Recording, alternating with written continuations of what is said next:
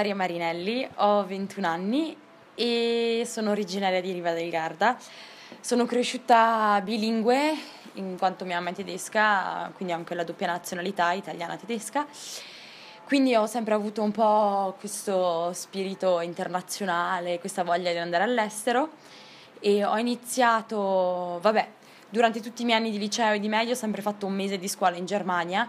però quando mi sono davvero trasferita all'estero avevo o 16 o 17 anni, non mi ricordo bene, in ogni caso era per la quarta superiore.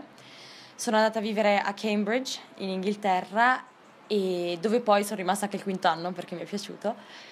E in seguito ho deciso di fare un anno sabbatico, mi sono trasferita a Parigi, mi è piaciuta molto la Francia anche e quindi sono rimasta lì per i miei studi e adesso studio a Sciences Po.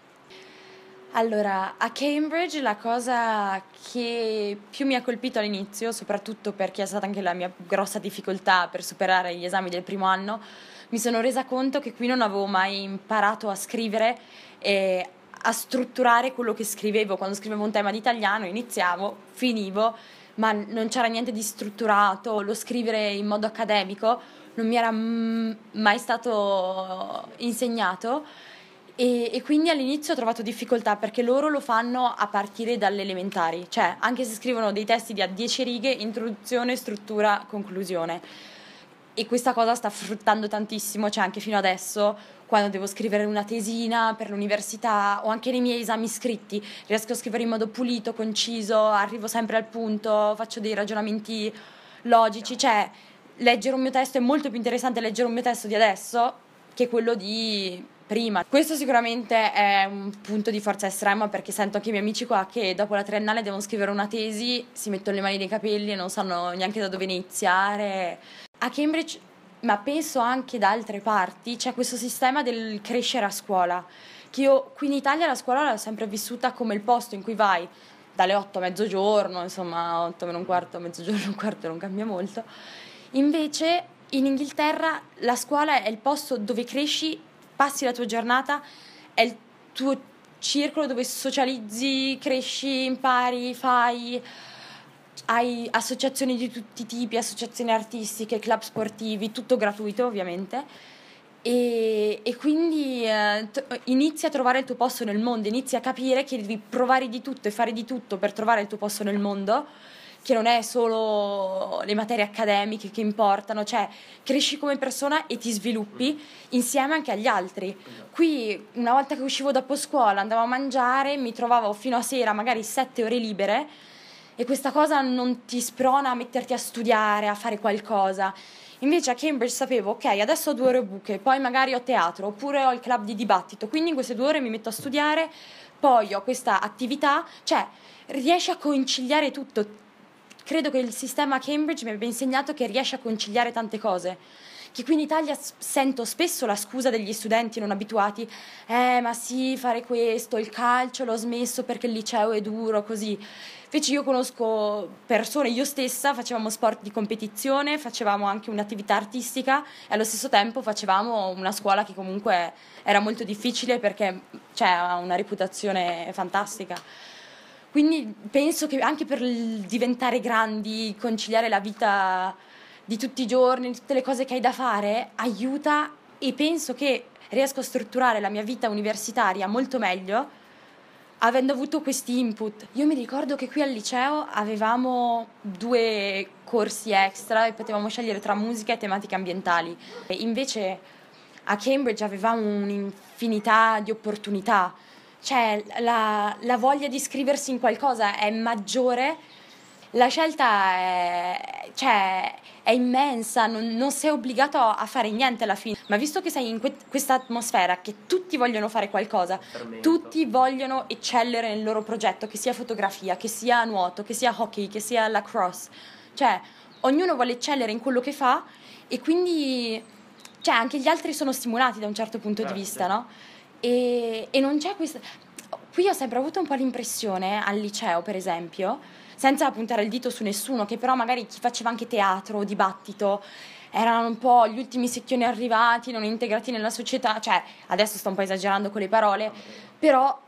non era una cosa da fighi, invece a scuola da noi i più fighi erano quelli che erano in tre progetti, cioè è un sistema che ti spinge a dare di più anche al di fuori dell'accademico e ci riesci perché sei in questo sistema dove tutti lo fanno e dove è valorizzato, diciamo. Beh, quello che è successo dopo la mia maturità ero un po' in questo limbo, mi si è offerta questa opportunità di fare la ragazza alla pari a Parigi tramite amici di famiglia.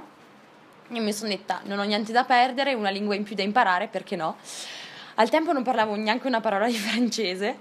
infatti quando sono atterrata a Parigi e ho realizzato questa cosa mi sono detta, vabbè, coraggiosa, quand même, come direbbero i francesi. E però così in realtà questa, questa, cosa ha fruttato più che qualsiasi altra cosa che ho fatto nella mia vita perché avendo imparato francese e essendo a Parigi ho scoperto di questa università che si chiama Sciences Po, che è l'università in cui studio adesso e quindi ho potuto fare il test d'ingresso. Cioè alla fine mi ha, mi ha aperto questa porta enorme di poter studiare in questa università che ora non tornerei indietro, non andrei a Oxford, Columbia, tutte quelle altre cose a cui avevo pensato prima cioè non le scambierei mai per quello che ho adesso. Sono appunto stata presa a Sciences Po Paris, che però per la triennale hanno deciso di creare questi campus in giro per la Francia che si specializzano nelle scienze politiche di una sfera geopolitica, diciamo, del mondo. Però anche il fatto che siamo in questi otto campus con delle identità culturali comunque abbastanza forti, tipo a Le Havre c'è il campus asiatico, a Reims, capitale della Champagne, c'è il campus americano e, e quindi insomma si crea questa identità di campus molto forte. Siamo, sul mio campus credo che siamo in 320 studenti, massimo proprio, e, e, quindi si crea questa identità di campus, tutti si conoscono, c'è anche una... certi lo criticano dicendo ok, torni al liceo, però visto che comunque il ritmo accademico è andante e tutto quanto, secondo me è sopportabile. Cioè, penso che l'esperienza che fanno le mie amiche che studiano qui a Bologna, Firenze, Trento, Roma e quella che faccio io è molto molto diversa perché l'università non è il posto dove vai per sederti in un anfiteatro gigante a registrare una lezione che poi ti scrivi gli appunti a casa. Ma punto primo, per ogni corso abbiamo delle classi dove siamo in una ventina più o meno, dove approfondiamo, possiamo chiedere tutte le domande che vogliamo al prof, abbiamo un contatto diretto col prof. A Sciences Po, nel nostro percorso triennale, siamo obbligati dopo il primo anno a fare uno stage di un mese, pensato per integrare diciamo, il nostro percorso molto molto accademico e per avvicinarci alla vita lavorativa. Quindi quello che io ho deciso di fare quest'estate, che appunto era la mia estate dove dovevo fare il mio stage, è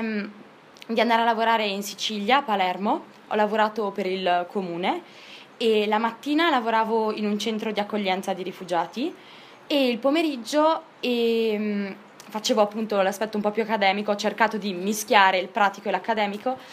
e, e lavoravo per il sindaco Leo Luca Orlando.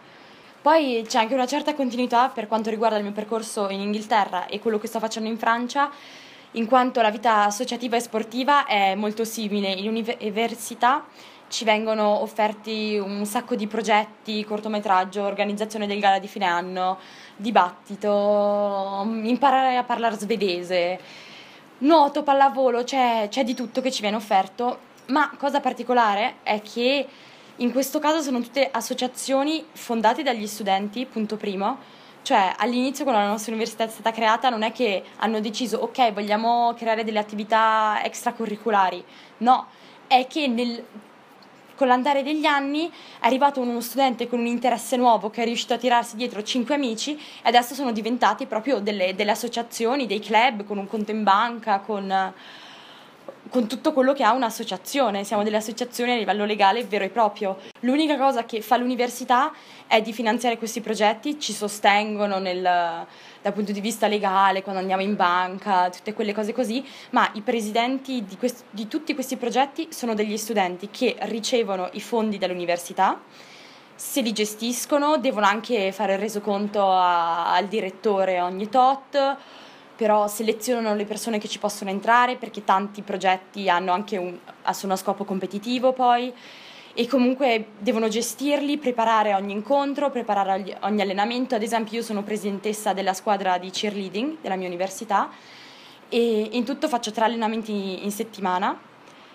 e comunque che tutto sommato sono 4-5 ore di allenamento in settimana che io devo preparare e ci devo mettere almeno 6 ore di preparazione per preparare ogni allenamento. O per esempio faccio anche proget- parte del progetto Gala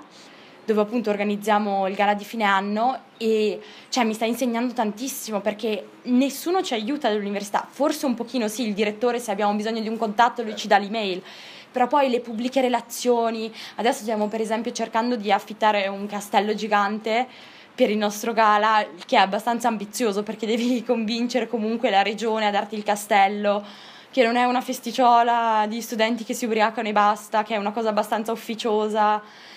E andare a degustare vini, cibi, cioè ok uno pensa figata ma c'è dietro un'organizzazione, cioè leadership skills, organization, pubbliche relazioni, cioè impari tutto con le tue stesse mani e con i soldi dell'università, cioè tu non ci devi mettere un centesimo, devi solo eseguire. E questa è un'opportunità come nessun'altra, penso. Anche solo gestire le finanze di un progetto è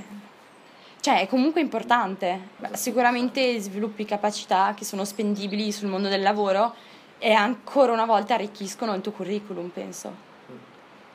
Per il mio futuro, vabbè, grazie ai miei stage sto vedendo un po' dove andare a parare nella vita, concretamente, ma penso che sia il campo dell'istruzione quello che mi interessa più di tutti, perché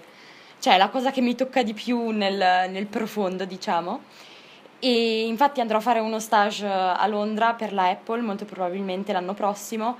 nel, nel loro management dell'educazione, per appunto vedere se è davvero quello che voglio fare, se è davvero quello che praticamente, cioè dove le mie abilità sono meglio spese anche, però è l'educazione, diciamo, il campo che mi interessa di più, politica educativa.